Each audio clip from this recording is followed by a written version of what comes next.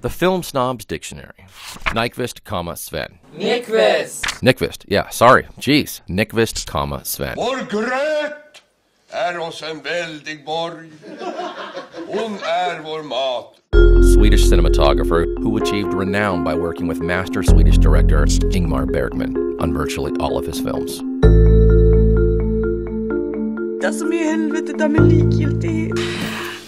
Working in the land of unending winter nights and unyielding summer days, Bergman and Nykvist invented a stark and haunting language that influenced a generation of Bergmanophiles, many of whom would later hire Sven to work on their films.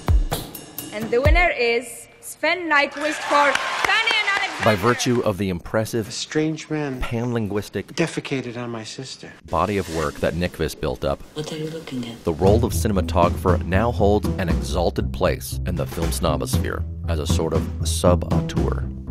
Nu ligger inte den där rätt riktigt, så jag skulle kunna ta mer här. What Nykvist and his peers had in common was a love of naturalistic lighting, as opposed to the shiny artificial light that was epidemic in Technicolor Hollywood. Exhibit A Robert Altman's anti Western McCabe and Mrs. Miller, in which cinematographer Vilmos Zsigmond gave Altman an almost entirely dun colored movie, What's the matter with you, Sheen? You got a turd in your pocket or something? the visual equivalent of horse manure smell-o-vision. I find that attractive. The honorary American in this group, Gordon Willis, took the concepts of underlighting and underexposing to their logical extreme in the Godfather films.